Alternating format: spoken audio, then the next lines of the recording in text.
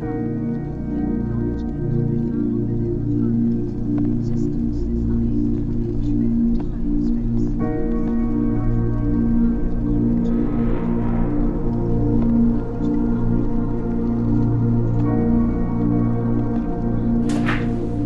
must be Rusty.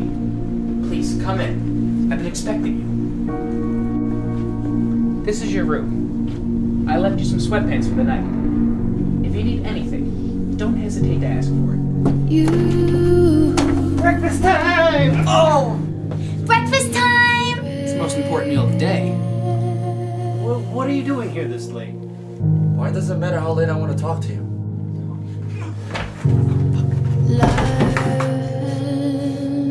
What are you doing? You're killing him! If you don't leave, you will be next. Who are you? Somebody you don't want to fuck with.